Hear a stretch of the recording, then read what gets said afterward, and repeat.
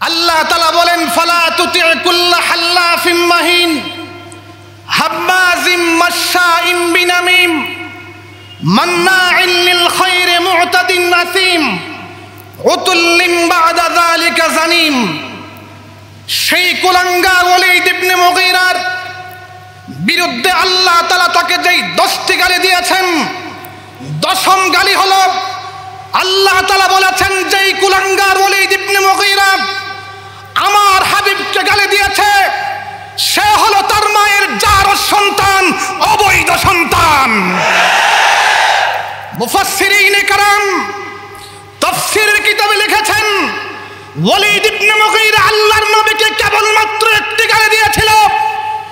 কেন আল্লাহ তাআলা ওয়ালিদ ইবনে মুগীরাকে 10টি গালি দিলেন? কারাম তার প্রতি উত্তরে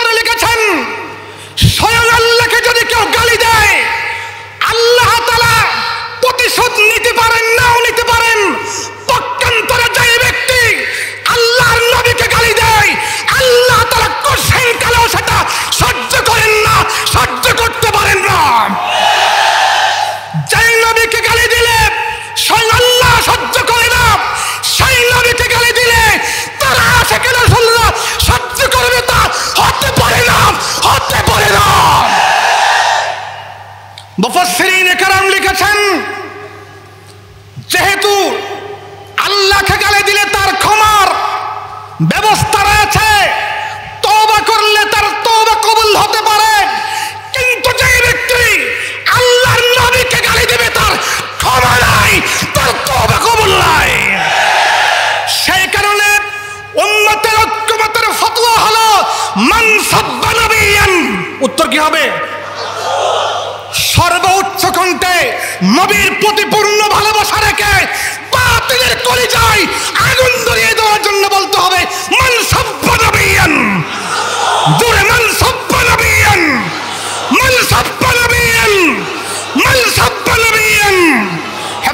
ইসলাম বাংলাদেশ জিন্দাবাদ। শানের সালা সম্মেলন জিন্দাবাদ।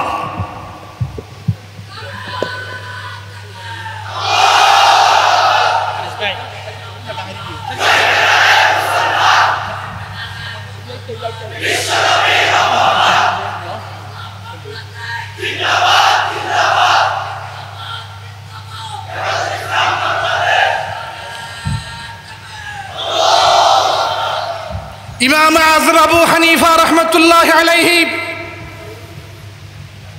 তিনি ছয় হাজার ছয় শত ছেষট্টি কোরআনে পাকের আয়াত থেকে, রসুল পাকের বারো লক্ষ হাদিস থেকে লক্ষ লক্ষ মাসআলা যখন বের করতেন, তার ওলামা সম্মেলনের মধ্যে কবাস্তম চল্লিশ জন ওলামা এখানে থাকতো।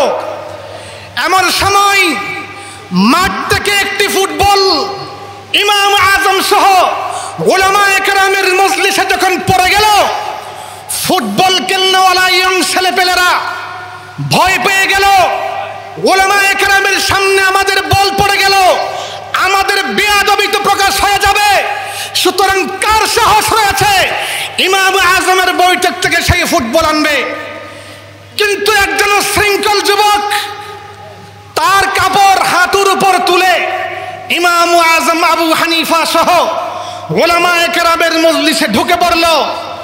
হাতুর উপর কাপড় রাখা অবস্থায় সে উশৃঙ্খল যুবক যখন বল নিয়ে বের হয়ে যাইতেছিল, ইমাম আজম উপস্থিত ওলামা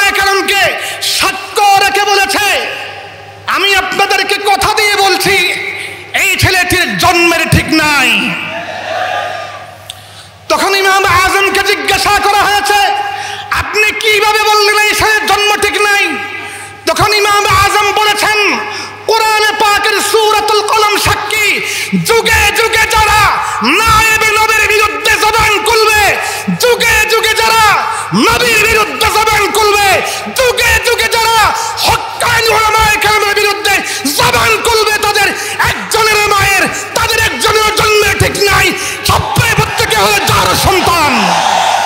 ঠিক তেমনি ভাবে ঠিক তেমনি ভাবে বাংলাদেশে যেই সমস্ত কুরাইয়ারের বাচ্চারা একশত ষোলো জন আলেমের তালিকা করেছে। ভবিষ্যতেও করবে একজনেরও জন্মে ঠিক নাই, অবৈধ